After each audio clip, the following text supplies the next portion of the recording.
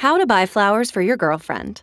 Sure, you could go online and send the first flowers you see, but a little thought and planning will go a long way toward impressing her.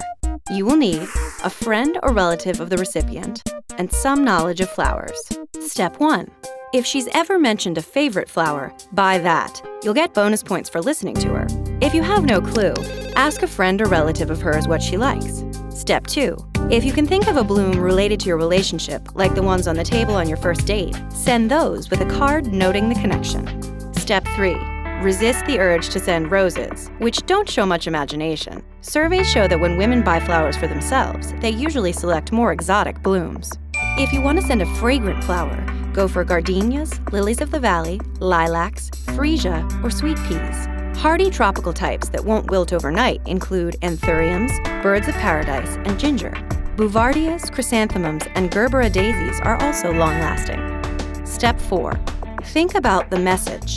Forget-me-nots stand for faithful love, gardenias say, I love you in secret, hibiscus represent delicate beauty, and sunflowers signal devotion. Color counts too. Red means love, orange signals desire, pink conveys appreciation, yellow means friendship, and white represents purity.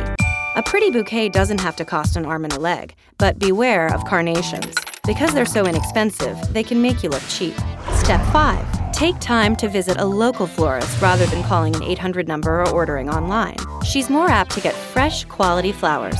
Plus, you'll be able to write the card yourself. A gallant touch she'll love. Tell the florist to leave out the greenery. No ferns, no baby's breath, no nothing. You want flowers, not filler. Step 6.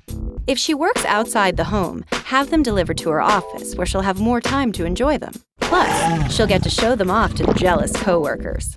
Step 7. Send flowers for no reason at all. She just might be moved to return the favor with her own romantic gesture. Did you know?